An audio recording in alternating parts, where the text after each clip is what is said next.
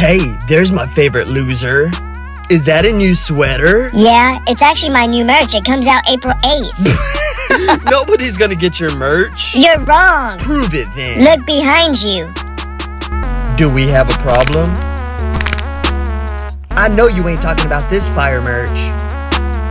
It's so fire, I'll even let you touch the thermostat to cool it down. You mess with him, you mess with us. Oh, great heavens! And don't forget it.